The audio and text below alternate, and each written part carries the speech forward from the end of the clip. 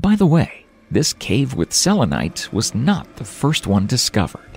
In 1910, another cavity was found 120 meters, 394 feet above the Cave of the Crystals at a depth of 120 meters, 394 feet.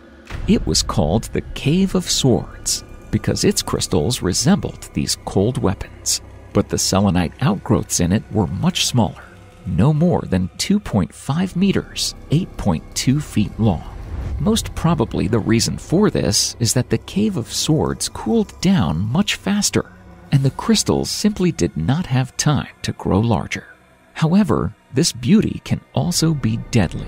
It is rumored that one guest to the giant crystals cave was literally impaled by a selenite spike from the vault when he tried to break it off. The atmosphere itself can kill you here.